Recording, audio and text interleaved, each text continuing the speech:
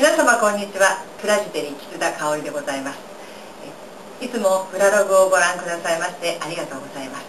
本日は女性起業家きらめきインタビュー第4弾をお送りいたしたいと思います。今日のお客様は株式会社タイム。ケアテラス新宿の代表取締役であられます川原時子さんです。本日はよろしくお願いいたします。それでは1つ目の質問です。川原社長のお仕事内容を教えていただけますか？はい。介護保険のケアマネージャーをやっています、えー、在宅で要介護状態にある方のサービスを使うためのケアプランを立てています。大変な重要なお仕事ですね。ありがとうございます。それでは2つ目のご質問です。そのお仕事をなさる上できらめきを感じている場面というのはどんな場面か教えていただけますでしょうか、やっぱりあの在宅で要介護状態にある利用者様が喜んでくださった時それとかご家族の方がやっぱり助かってるわ嬉しいわって言ってくださった時が嬉しいですね。例えばその喜んでくださる時っていうのは、うん、具体的に言うとどんな時なんですか？そうですね。あのまず要介護状態になるっていうのは何か病気をされるっていうことですのでで入院をされたあのやっとお家に帰ってきたっていう時はどなたでもやっぱり混乱されてますよね、うん、ご家族はこれからどんな風に介護していけばいいのかっていう状態になってますのでそれを私たちが入ることによってケアマネージャーだけではないんですけれども、えー、お医者様とか看護師さんとかヘルパーさんとかみんなでチームを組んで、えー、連携してあの要介護の方のあのお手伝いをしていくわけですけれども大体退院してから3ヶ月6ヶ月と経ってきますとあの皆さん落ち着いてらっしゃいますのでその時に「よかったわ」って言っていただけることが多いですね。実際に自己自身の身に降りかかっていらしてもあ経験がないことでわからない方が多いわけですよね。そこでプロフェッショナルとしてお入りになることによって、えー皆様が分かり得ないこともお伝えして、そうですね。介護保険のサービスは特に分かりづらいですどんなふうにサービス使ったらいいのかっていうところで皆さんあの迷われてますので大体まあ3ヶ月半年経ってきますとそれが順調に動いてきますのでちょうどその頃に皆さんが随分あの退院した頃と違って落ち着いてこられますよね。具体的にああ嬉しいって皆様が思ってくださる時の具体的な態度っていうんですかどんなふうな様子を示してくださるんですか？やっぱりあの落ち着いてこられますよね。笑顔がよく見られるようにもなるしあのやっぱり病院とか施設ではなくてご自宅で過ごしてるっていうことは安らぎがありますのでね。あの見た感じも違ってきますので、やっぱりご病気された当初と比べるとね。皆様のきらめき始めたお顔がまさにきらめきの場面ということですね。ありがとうございます。それでは3つ目の質問です。そのきらめきを感じるためにどのようなことを心がけていらっしゃいますか？そうですね、えー、やっぱりあのご病気されたとかあの在宅で介護されてるご家族の方っていうのはあのとても疲れてらっしゃる方多いですので、あの私の方はいつも落ち着いた気持ちであの対応できるように。自分がいつもあの冷静でいられるようにあの自分を作っていかなくちゃいけないなっていうふうに思ってます。ご自身をいつでもコントロールして、えー、冷静、熱さを保てるようなご自身を作り上げる。そうですきらめきをその、うんまあ、感じる、うん、そそのために心がけていることっていうのは先ほど伺ったようにあの冷静に保つっていうことですね。冷静？に保つっていうことは、肩が凝ってたりとか、疲れてたりとかすると保てなくなるじゃないですか。そのためにピラティスとハリと、うん、それとまああの？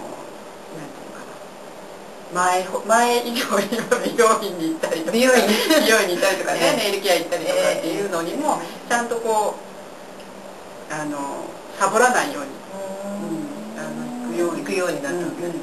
ちなみにピラティスってどんなものか教えていただけますか？ピラティスって、呼吸まず呼吸法なんですね。まあヨガとは違うんですけどヨガのドイツ版みたいな感じですよね。でまだ日本に入ってきて10年ぐらいでまだ歴史が浅いあの筋肉トレーニングですよね。そのピラティスって有名な人もやってらっしゃるんですかうんともうアメリカとかあのヨーロッパとかでは、病院のリハビリに取り入れられてるらしいんですよ。だからもうじき日本でもあのリハビリ病院とかで取り入れられるようになるだろうって言ってるんです。のドイツのあのそのマシンがそのまんますごい古臭いマシンなんですよ見た目が。それそれがそそれを使って筋肉トレーニングをしたりとかマット運動をやったりとかするんですけど私の想像はピラティスはちょっとヨガと比べてしまったんですが、その自分の体だけで運動するのではなくて、マシンを使ってするわけですね、うん、ヨガのようなマットの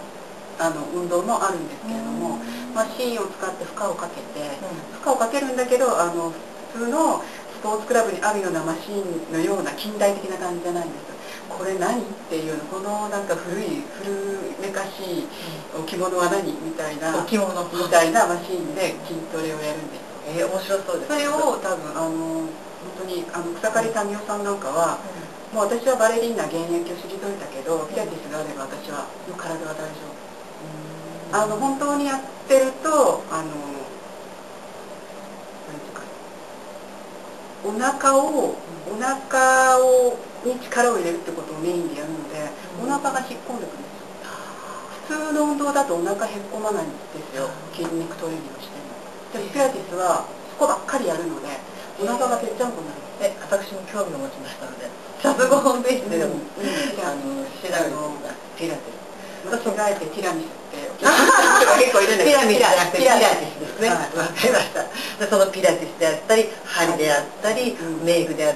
たり、うん、えー、ネイルであったり、うん、自分自身を磨き上げることを心がけてそれによって自分のコントロールをして皆様のケアをなさってるね。い。つも体が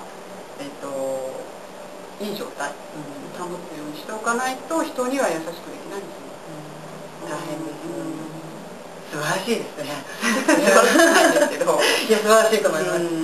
ぱり自分自身も作り上げていかなきゃ無理です、そうなんですよ、大変ですよねそれってねはい、素晴らしいですね。ありがとうございます。それでは4つ目の質問です、えー、今までの人生の中で川橋所長が一番きらめいていたなっていう時を教えていただけますか？はい。20代から、えー、3回ほど転職をしていますけれども、うん、その時その時も一生懸命に、あのー、どの仕事もやってましたので、うん、特にここがっていうところはないと思うんですね、えー、ずっと同じスタンスで悩みながら一生懸命やってきてますので、あのまあでもこれから50代の10年間を一番きらめいていたいなとは思ってます。そうですか、はい、川原所長は、えー、30代からあこの介護のお仕事に携わって約20年間。でその20年間経った後3年前にこのお仕事を起業したわけですよね、ものすごく長い、まあ、歴史が生まれると思うんです。会社を始めようって思った時とかはどうでした？会社を始めようと思ったのはもう何年も前からあの起業する、えーと、年とか月とかを決めていたのでスケジュール通りに進んでるだけっていう感じでした。えすごいですね。スケジュール通りに進んでるだけっていう方もありますけどそのスケジュールを全部決めてそれに合わせて自分を乗せてったそうそうですよね、うん、で実際にあの立ち上げ会社を作った年は、あの父が亡くなり自分は手術をしみたいな、あのとてもそんな状態ではなかったんですけどスケジュールを組んでいたのでふらふらしながらも スケジュールをこなしていくっていうだけででしたね。だから決め目標として決めておけばあのできるんだなと思います。いいことはここでやるって決めておけばそれ進んできますね、ありがとうございます。今まで同じ仕事をずっと続けていらして同じスタンスできらめき続けてきたからこそ今こうやって、えー、3年前に起業するっていうことがあったわけですねそしてさらにこれからきらめいていくんですね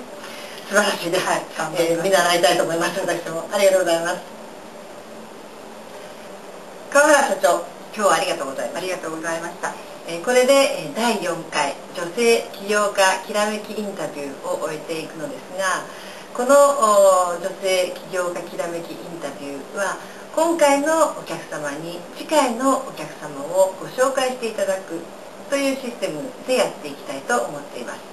ということで、えー、次回のお客様をご紹介いただけますでしょうか？はい、えー、埼玉県の川口市でリラクゼーションサロンをやっていらっしゃいます、えー、浅見真由美さんご紹介します。ありがとうございます。それでは次回のお客様は浅見真由美社長ですね。はい、えー、楽しみにお待ちください。あありがとうございました。